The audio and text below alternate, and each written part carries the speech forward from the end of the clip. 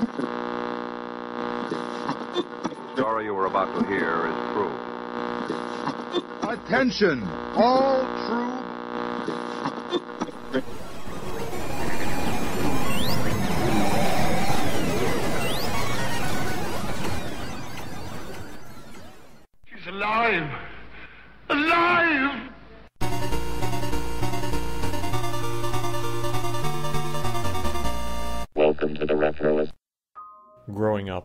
Always had a dream about going to summer camp, and I touched on this in the Friday the 13th episode that I did a couple of years ago. My summer camp dreams were divided between two movies that I had seen, one being Friday the 13th and the other being Meatballs. Friday the 13th obviously involved me getting killed as a fantasy, but in the Meatballs fantasy, I did not get killed. In fact, I met a good friend, and that would be Bill Murray, an older brother type who took me under his wing, taught me to run, played poker with me for peanuts, and was just a nice guy. I'm not sure if that appeals to other young kids, I imagine it does. But my dream got a dose of reality when I was young when the concept of stranger danger started to rear its head in my neck of the woods. And in stranger danger, all adults who you did not know were people you were not supposed to talk to. That means that anyone who was going to be nice to me was greeted with a sort of pessimism right off the bat, while before the concept was brought up to me, before it was drilled into my head by schools, by my mother, I was kind of a friendly kid, willing to talk to neighbors and friends, but afterwards they scared the heck out of me, thinking that anyone, especially a guy, who would talk to me was someone who was going to hurt me a great deal. And my meatballs style fantasy of making an adult friend who could teach me things went out the window. And basically, the only adults in my life that I dealt with and felt comfortable with from that point on were people who were in my family or pre approved figures that my mother knew or who I knew before the concept of stranger danger was thrown at me. Now, I know the people who were presenting this to me had my best interests in mind, but as an adult, even as a kid, I resented it because I felt like I was being pumped full of fear constantly. And I was.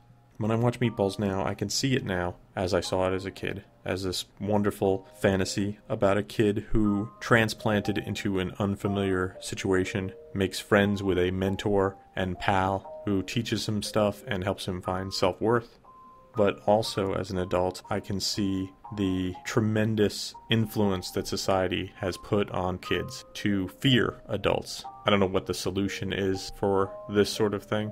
All I know is that it is regrettable because I remember watching Meatballs pre all this stuff and thinking, wow, this is great. I wish I go to summer camp and this will happen to me. And then thinking afterwards, well, isn't that unusual that an adult would spend so much time paying attention to a kid? It is weird how society changes so quickly. And even sometimes the best intentions can bring about negative consequences. That's a shame because I love meatballs. And as a kid, I loved the whole idea of it. So on today's show, we're going to talk about meatballs. We'll talk about the stars of the film, the people behind it. We'll talk about the plot, the music, the sequels, and where you can find meatballs today. We have an info packed episode ahead of us. So without further ado, let's start the show.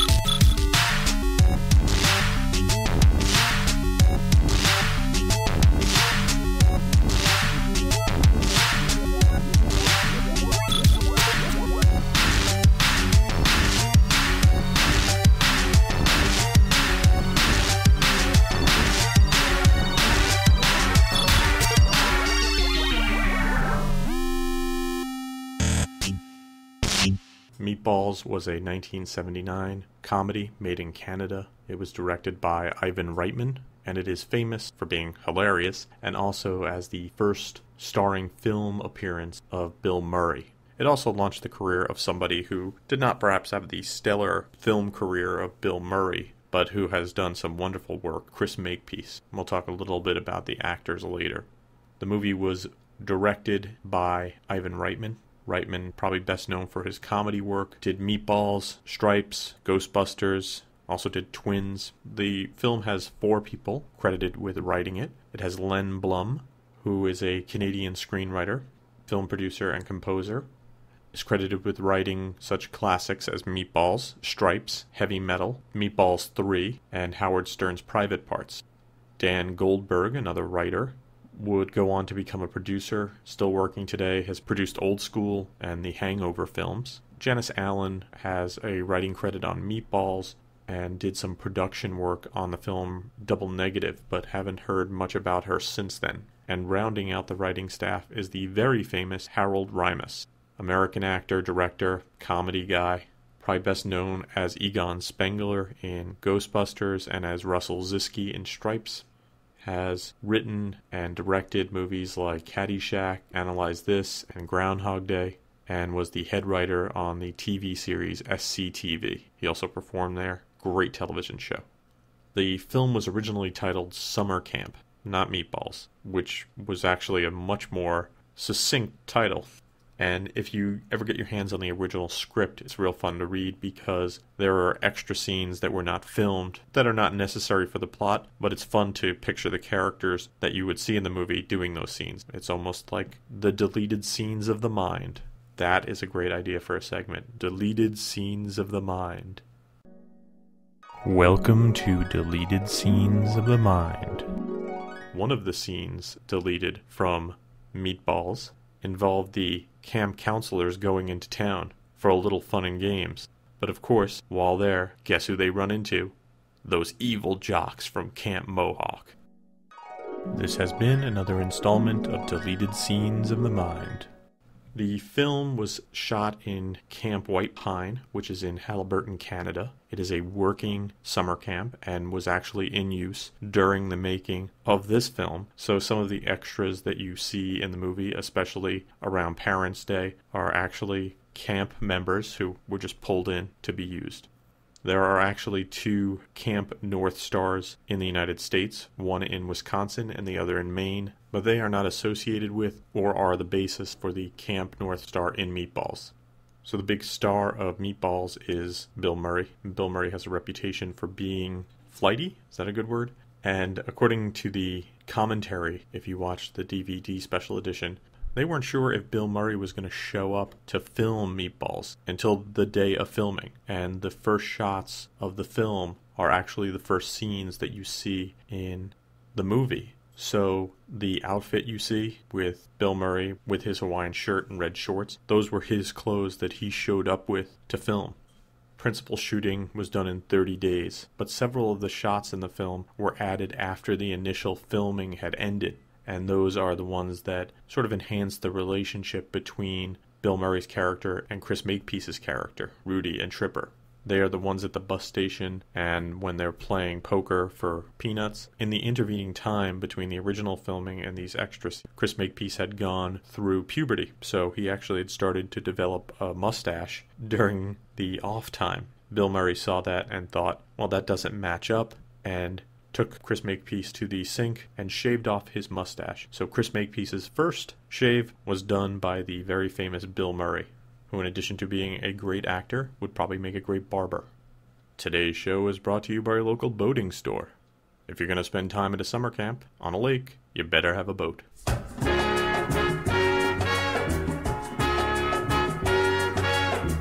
Get with it, get a boat. Get with it, get afloat. Get a go, go, go. Have more fun on the H2O. Get with it, get a boat. Get with it, get afloat. Get with it, get a boat. Get with it, get afloat. Get with it, get a boat. Love those boats. So, a little bit about the plot of Meatballs. If you have not seen Meatballs, there could be some spoilers in here. I apologize in advance. The film is about a low budget summer camp called Camp North Star that has a head counselor named Tripper Harrison, played by Bill Murray, and he is surrounded by a bunch of goofy CITs, counselors in training. There is lots of different subplots that involve the campers trying to get with one another, and Bill Murray falling in love with Roxanne, who is the female head counselor.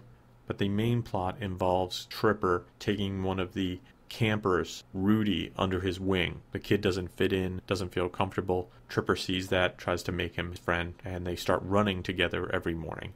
When the Camp Olympiad starts, you don't think the Camp North Star is going to be doing well because the rival camp, Camp Mohawk, is just so superior. Rich kids with all the benefits, but of course, Camp North Star plays a little dirty, plays by their own rules, and they do really well. And it comes down to the running competition, the marathon, and Rudy has to step in and try to win the day. Will he do it? Who knows? He does.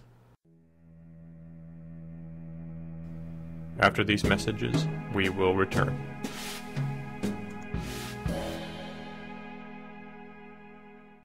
McDonald's introduces a whole new kind of happiness. All new Happy Meals. With new fun, new jokes, new games, new puzzles, new surprises. Participating McDonald's now. Nothing can make you laugh like the Happy Meal joke books from McDonald's, filled with the funniest jokes from the Riddle Me contest. You get one book inside every new Happy Meal box. Happy Meal joke books, four times as funny when you collect them all. KMBC TV, Channel 9, Kansas City, Missouri. Hi. Now's the time to plan a great summer of fun for your child at Young People's Day Camp. Let me show you how Young People's Day Camp makes fun happen. At Young People's Day Camp, your child is picked up and brought home by Camp Bus. In between, the days are filled with fun activities. There's boat rides, all summer sports, long swims in the pool, arts and crafts, weekly field trips, and so much more. All under the care, supervision, and instruction of state licensed teachers and administrators.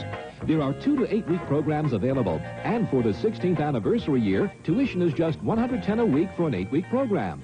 Camp shirts, tote bags, trophies, awards, and banners are all provided free. Act now to reserve a place for your child. For the camp nearest you, call in the five boroughs 718-447-8010, New Jersey 521-3600, Long Island 731-1000, Westchester Rockland 664-8200, and for our new teen tours 718-338-TEEN. And now, back to the show.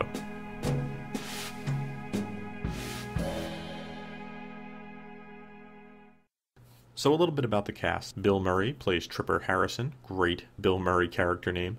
William James Bill Murray, American actor, done a ton of comedy, Saturday Night Live, Caddyshack, Ghostbusters, Oscar nominated. Amazing. Chris Makepeace played Rudy Gerner, probably best known for his role in this film and in the movie My Bodyguard, which is a great movie. If you have not seen Meatballs or My Bodyguard, you should go and rent both of them. They're great. Kate Lynch played Roxanne, Canadian actress, plays Bill Murray's love interest. I understand she was cast in the film because they thought she would be a realistic love interest for Bill Murray and a realistic female camp counselor. Very good actress. Does a great job in the film. Harvey Atkin played Morty Melnick, the head of the camp. Another Canadian actor who has done a lot of voiceover work and appeared in 75 films did the voice of Sam in The Adventures of Sam and Mac Freelance Police, and played the voice of Bowser Koopa in DiC Entertainment's Super Mario Bros. Russ Banham played Bobby Crockett, would go on to become a freelance journalist, writer. Jack Blum played Spaz. Spaz is the stereotypical nerd, but Jack Blum does a great job. Appeared in dozens of other feature films and television shows. Continues to work as a writer and producer in Canada and America. Keith Knight played Larry Fink Finkelstein, passed away in 2007 from brain cancer. He was the stereotypical fat guy and buddy of Spaz. He would also do the voice of the White Rabbit in the Care Bears Adventures in Wonderland and was the voice of Lowly Worm in the Busy World of Richard Scarry. Sarah Torgov played Candace. In addition to Meatballs, she appeared in TV shows like Simon and Simon and The Greatest American Hero. She retired from acting in 88 and is a artist and book illustrator in LA. Matt Craven was Hardware Renzetti. He has a recurring role on NCIS as the Secretary of the Navy. Margot Pinvidic played Jackie. A lot of voice acting, TV work, including a role on 21 Jump Street and in the early 90s version of G.I. Joe and Bucky O'Hare in the Toad Wars. Todd Hoffman played Wheels. had a small role in Weird Science, but is probably best known as the brother of Dustin Hoffman. Kristen DeBell played AL, was a fashion model, did some adult films as well. And finally, Cindy Girling played Wendy, placed third in Miss Canada, has worked in TV as recently as 2003. When Meatballs came out, it started small in only a couple of theaters, but did really well. And its opening weekend, it brought in $77,170, which for seven screens gave it an $11,000 per screen average, which was really good. It opened on June 29th, 1979, and would go on to gross $43 million at the box office. The weekend it opened, it came in third place. Ahead of it was Moonraker, which had just come out which made $7 million but was on 788 screens. And number two was Alien, which had been out for a couple of weeks, which made $4.5 million that weekend. In addition to making a good amount of money, Meatballs also received three Genie Awards, and the Genie Awards are given out to recognize the best of Canadian cinema by the Academy of Canadian Cinema and Television. Kate Lynch won a Best Performance in an Actress in a Leading Role Genie, and the film also won Best Screenplay and the Golden Reel Award.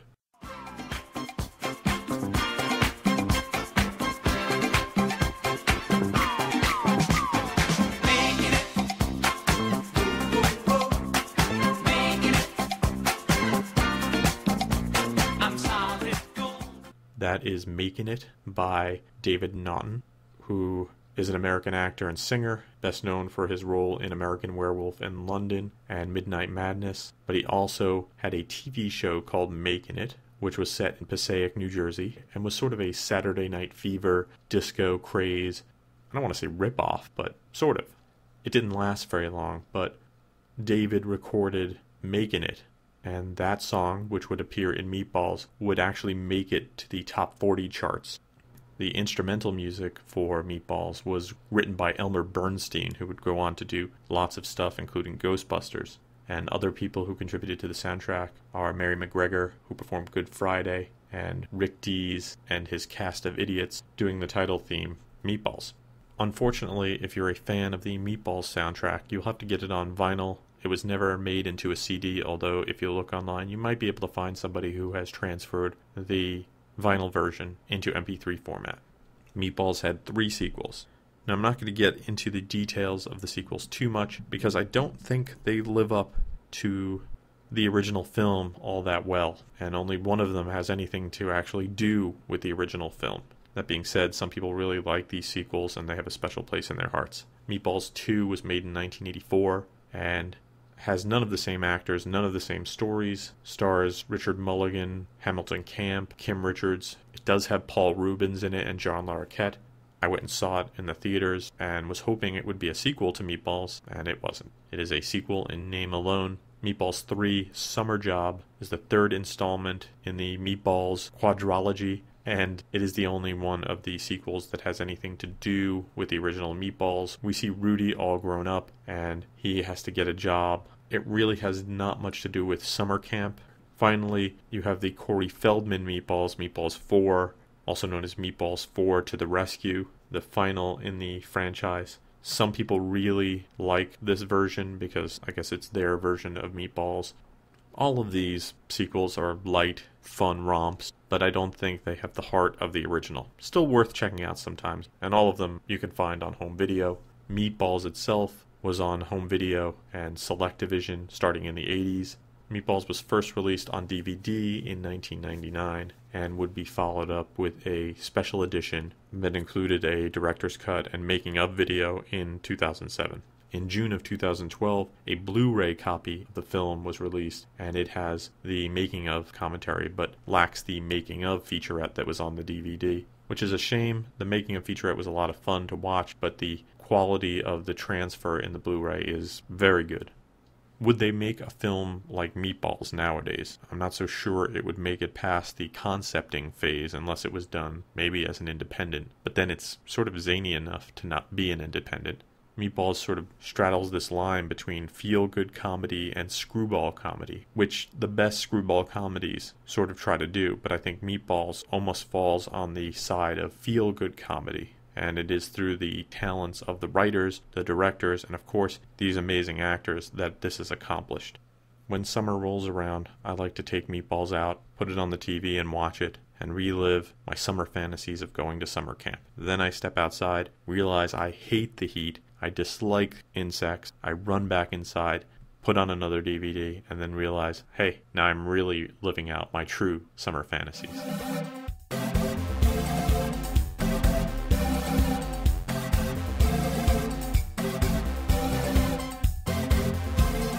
Thanks for listening to the show. For more retro fun, you can drop by the website at retroist.com. You can follow me on Facebook and Twitter. I'm at facebook.com slash retroist and twitter.com slash retroist. The music you hear on the show is by Peachy. If you have musical needs, you can email Peachy at peachy at retroist.com. Thanks for listening to the show, and I hope you have a great weekend.